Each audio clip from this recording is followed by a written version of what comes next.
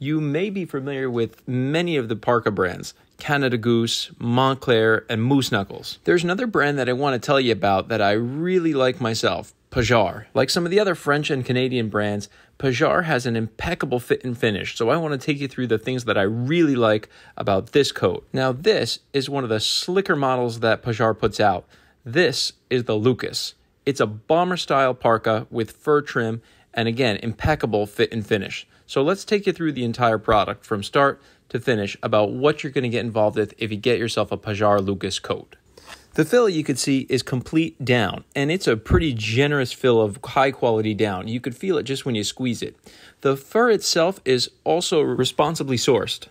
Not everybody likes the fur trim, so what you can do is you can remove the hood if you're not a big fan of the fur option. One thing I really like about this product is that it's water resistant. So you can take this coat in the rain, you could take this coat out in the snow, and you'll be a-okay, you'll be fine, you'll be okay. It's completely water resistant. So that's one thing that I really like about this particular coat. Now, there are a lot of nice touches if you take a look in this.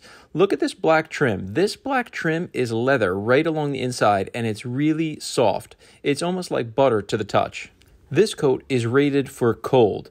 You can see that it's rated to minus 20 degrees Celsius. So that's really nice. It's a warm coat.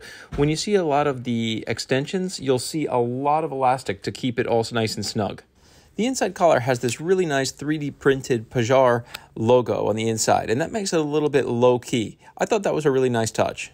When you look on the other side, you'll see another nice generous portion of that butter soft leather on the inside. Again, that really helps keep you nice and warm when the wind starts blowing.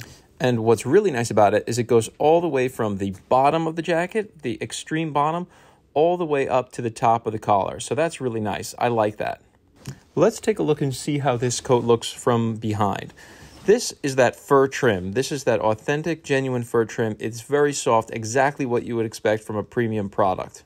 Now, this coat is a size large. I'm pretty tall. I'm around six foot tall, and this fits me just fine. So if you're thinking about sizing, I'm six foot tall, and the large fits me perfectly. Let's take a look at the interior touches on this coat. The Lucas has a lot of nice little features. There are many pockets that you can use to choose from. This one's kind of neat because it's a netted type uh, pocket. This I thought was really cool, and I thought this was actually better done than some of the other brands that are out there. The tags are actually tucked into a little tiny pocket just for the tags. I thought that was really classy because it hides all those papers. So I'm a fan. If you're thinking about Pajar, the Lucas might be a nice place to start.